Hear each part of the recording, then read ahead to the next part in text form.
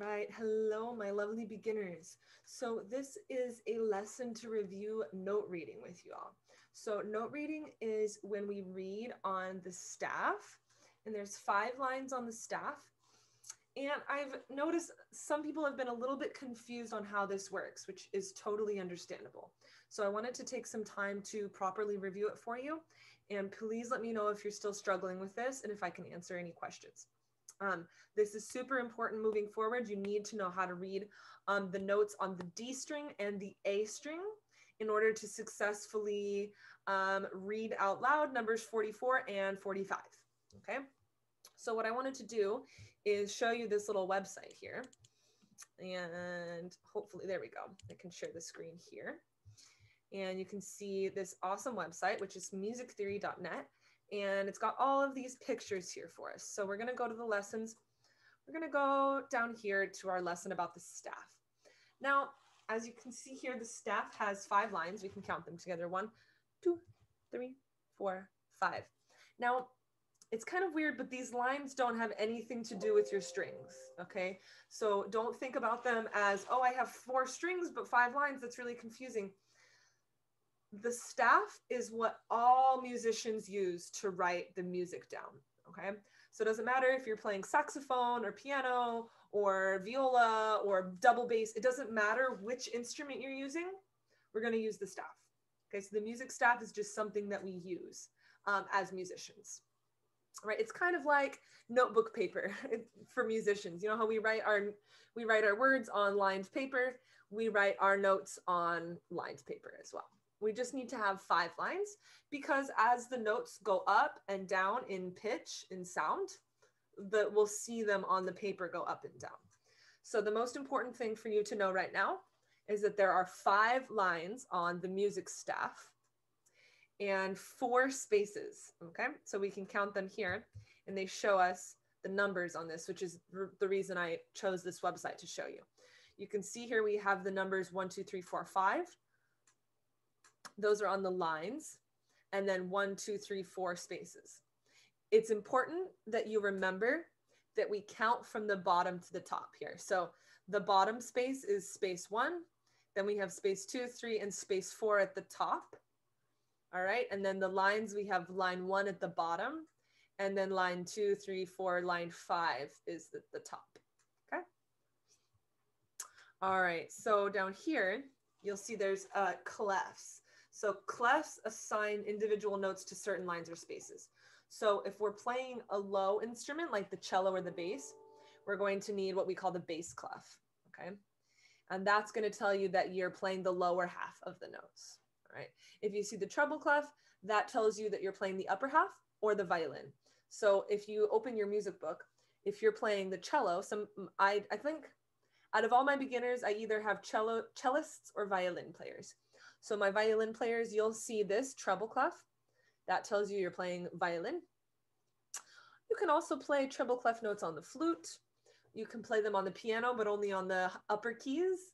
Let's see, you can play them with the clarinet. You can play some of them with the viola, okay? But you can't play the bass notes on the violin because the violin's too small. That's why we need the big cello to bring in the low sounds. So here we've got our bass clef if you're playing the, the cello, you'll see this at the start of your music, all right? You can also play cello notes. You can play them on um, the double bass, some of them. You can play them on the tuba, the big instruments in the band. So generally, the bigger the instrument is, the lower the sound is. This one tells you with low sounds. This one tells you high sounds, okay? All right. So if we're playing treble clef, so cellos, this is this is going to be sort of what it's like for you but um, on the on the bass clef it's different. If you're playing violin, the the treble clef will be here to the side, all right, and you'll see that it's circling this line here. So it's telling you that this line, which is line two, is G, okay. And so then we build the rest of the alphabet around that. So if G is here on the second line, as we go up, all right, our musical alphabet is seven letters. A, B, C, D, E, F, G. And then we repeat A, B, C, D, E, F, G. A, B, C, D, E, F, G. And it just keeps going. Okay. It never stops. So after G comes A, you see we're going up in sound. We went from the line to the next space. Then we go to the next letter of the alphabet. So after G comes A, after A comes B, you can see it's going up. It works the same way on the on the bass clef. It's just going to be different lines for you guys. So here we have G, A, and B. And I see it, here we go.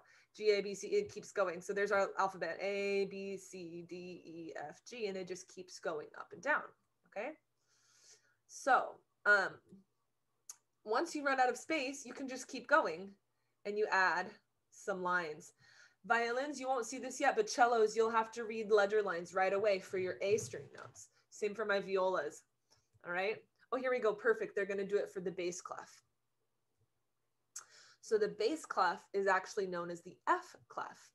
So you can see that the bass clef is pointing out right here, the two line or the two dots. They're surrounding this line three here. So this is an F clef. It's telling you that this line is F, all right?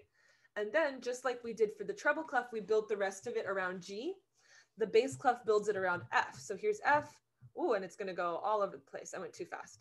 Oh no, it just does all that it's going to go up and then it shows us going down. So you can see, actually, this is a pretty good picture. It's going to go up, F, G, A, and then back down, F, E, D, C, B, and then it's going lower. So when it goes up, the sound gets higher. And as the, the notes go lower down, the sound is going to get lower. Okay. So each of the lines or spaces represents a letter. Okay. And the letters hopefully you know where most of the letters are on your instrument from learning your twinkles. Okay. So if you learned your twinkles, you know, okay, A, this is open A. All right. I know where open A is on my cello and you can play it. This one here is open D. So I'll show you now. I'm going to draw a picture with you. Whoa, so many lines. This is when they're both together. You can see the, the treble clef is higher and the bass clef is lower. They do go together. And if you play piano, you play all the notes. Okay. So we're to stop right there with the lesson. The most important thing you remember is that each line and each space represents a letter. Okay. So now let's go ahead together and I would really suggest that you draw this with me. Okay. I really like having things on paper in front of me being on the computer for class is a little bit hard. So let's write this down. And I think you'll find this really, really helpful. I know it's in your book, but I want you to write it down again because it's really, really good for you. So let's take a piece of paper. Uh, let's see. And I'm going to do this two times. I'm going to do it for cello and for violin. So first thing you're going to do is take your piece of paper if you need to, if you need to pause the video and go get some paper, go ahead and do that. Once you're ready with your paper and your pencil, you're going to draw. I like turning my page sideways for this. You know, if you have a big piece of paper, you might have space to do it like this, but I'm going to turn it sideways so I can draw five lines. Okay, there they are. Are they beautiful and perfect?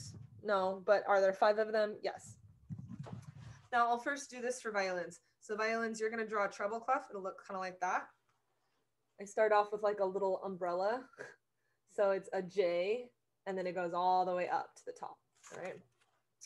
Once you draw your J, then you're gonna take your swirl to the right and circle line two. So I it's kind of like a big a J and then an S with a swirly at the bottom. So I do a J up and then I take the swirl to the right and I cross it over and then I circle the second line. The most important thing is that it goes above and then it circles this one, line two. That's how it's saying this is G. You see how this kind of looks like a fancy G? Like sort of, you know, not totally. But it kind of looks like a fancy G. It's telling you this is G. And this is actually G on your D string and we've been using that note a lot for Twinkle Little Star, right? So now we're going to write in, um, actually I'll do this for the bass clef at the same time so I can just show you both ways. So go ahead and take some time, write that out. Bass clef people are also going to draw five lines. Everybody, doesn't matter what instrument you're using, you use five lines to show the notes. Okay, so bass clef people are drawing five lines. Your clef is actually easier to draw. First start with a little dot on line four. And then you draw like a, a backward C with a kind of tail like that. And then you're going to draw two dots around that same line, line four. So that is the bass clef. You can see this kind of looks like a fancy F. All right. And that is actually F on your, or F sharp on your D string is going to be on line four. So we've been using that note a lot. So again, the bass clef is centered on the note F and the treble clef is centered on the note G. All right. Once you've drawn your staff, which is the five lines, and your clef, which is the swirly or the F with sort of a C. Once you've drawn that, then you're ready for the most important part of this lesson. And this is the last thing we're going to do here together. So this is our note reading review. And it's really important that you know where the notes are on the staff for the D and the A strings. So I'll first show you where open D and open A are and we'll draw them right at the beginning. So open A is going to be in space two. And on violin, it's kind of tricky. Open D is actually underneath the staff. So that's technically space zero. All right. So you can draw a little note head like that. We're not going to worry about the stems and stuff right now. So you can just draw a little oval. And you can see it kind of takes up the whole of space two. So this is space one. This is space two, and that's where A is. That's open A. And open D goes below the staff right there, right? So please draw those. And I'll, I will draw those for the bass clef as well. For the bass clef, the open strings are on lines. So you're to draw on, you see how these notes are on the lines? Those are your open A and open D. Open D is the lower note. So it's going to go on line three and open A goes on line five. So cellos, go ahead and draw this. You'll see that I drew a note here on the third line and I drew a note here on line five. All right. So now when you go to your music and you try to read Matthew's March, you'll notice, or actually, it's even better if you look at number 45 in your book you'll notice it starts on open D. For the cellos, you'll see open D. The first note is D and it has a little zero above it. That's telling you it's open D. And you'll notice that it's on line three for cello. And for violin, the first note for number 45 is below. It's open D down here. All right. Now I'm going to give you uh, the rest of the notes kind of all at once. But I will show you as I draw. I'm going to do the violins now. So D, E, and I want you to like pause this and write it down and then let me know if you have any questions. So these are the notes you need to know so far. All right. We have four notes on each string. And you can see as we go up, we're going to add add fingers and it goes higher. So here's the finger numbers for violin underneath. Your open D is here, open A is here. And you can see we just go up one. We go up to the next line and then the next space and then the next line. So D, E, F sharp, G. E is line one, F sharp is space one, G is space is line two. And then after G comes A. Now we go to the next string for A on the violin. A is always going to be here though if you're reading treble clef. Doesn't matter what instrument. So it's kind of weird because these don't have really anything to do with your strings. So it's kind of confusing. But I wanted to draw this picture for you so you can see that these are your strings. So we've got D, E, F sharp, G, and then the next string is A. A starts on space two. And then we go to B, which is still on the A string, first finger. And then we go to C sharp, which is still on the A string, second finger. And then we go to D, which is still on the A string. All right. So if you're someone who likes to color, like me, I'll show you, I'm gonna color them string by string, okay? But first I'll go ahead and write the cello ones as well. So if you're someone who likes to color, you can go grab a, two colors at least, one for your D string and one for your A string. And I'll show you what this looks like for cello. It's the same idea, but they're in, the, in a different spot.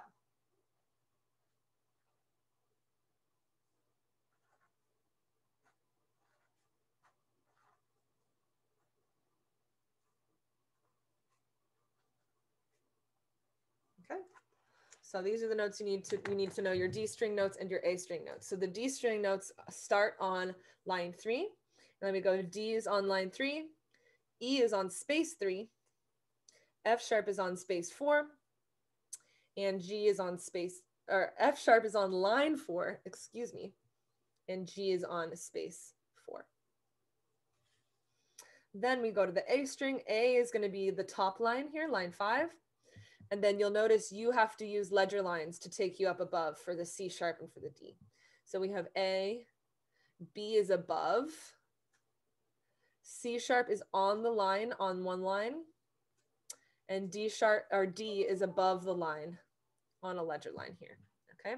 So you can pause the video and copy this down, make sure you understand where these letters are. You will need to be able to read all of these letters for numbers 44 and 45. All right. Now, if that works for you, you can stop the video here. You can be done and go practice 45. There will be a video you can play that along with me. But I'm going to color them because I find that really to be helpful to color them. So here we go. Let's see. For the D string, I'm going to choose green. And for the A string, I'm going to do orange. Okay. So here are my D string notes on the cello. We've got D, E, F sharp, and G. There goes my notebook. And then here are the A string notes, A, B, C sharp, and D, okay? So you'll see, you can draw it like that. And it doesn't matter where these notes are. They can, D, they can be mixed up completely, but as long as it's on line three, it's D. If it's on line five, it doesn't matter where it is, right to left. That's about rhythm if it's where it is right to left. But right now we're talking about just up and down, all right? So if it's on line five, it's A, all right? If it goes, if it's above, it's on the line, on an extra line here, that's C sharp, all right?